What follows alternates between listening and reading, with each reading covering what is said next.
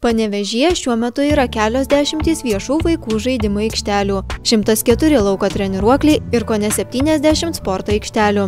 Ne visi šie objektai yra geros būklės, o dalis jų netgi kelia pavojų. Tačiau jau greit situacija turėtų iš esmės pasikeisti. Panevežė miesto savivaldybė sutaupė lėšų ir jas paskyrė vaikų laisvalaikio ir gyventojų sporto erdvių tvarkymui. Miesto taryba patvirtino 70 tūkstančių eurų šioms aikštelėms sakykime, tvarkyti.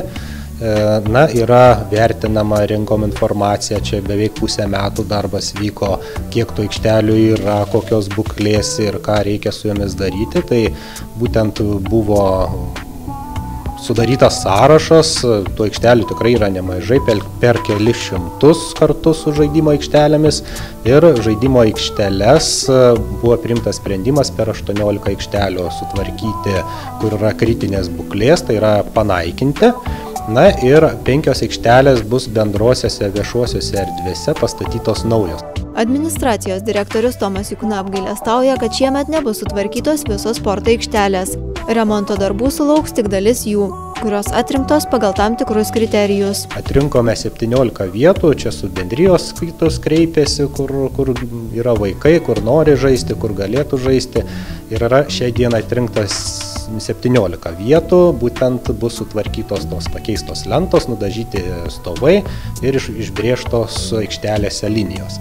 Taip pat galbūt dar kažkur tai aikštelių ir nepastebėjome. Buvo toksai šiais metais prioritetas nustatytas aikštelės, kurios turi gerus pagrindus tinkamus žaisti ir dar stovus, tokius, kuriuos ten reikia minimaliai remontuoti arba padažyti, gal truputį paremontuoti. Na ir būtent buvo į tai akcentuojama. Jeigu liktų pinigų, iš būtent atlikus pirkimus, tai dar galbūt žmonės kažkur tai mes kažką praleidom, kažko nepastebėjom, tai tvarkytumėm dar ir papildom. Penkios iš 17 sutvarkyti planuojamų sporto aikštelių priklauso ugdymo įstaigoms. Tomas Jukna ragina gyventojus informuoti apie žaidimo bei sporto aikštelių būklę ir teikti pasiūlymus, kaip jas būtų galima sutvarkyti. Geriausia, kad bendrijų pirmininkai paskambintų, pasakytų, kad va, pas mus yra vaikų norinčių sportuoti, aikštelė yra tikrai geros būklės ir mes labai norėtumėm, kad ten būtų patvarkyta.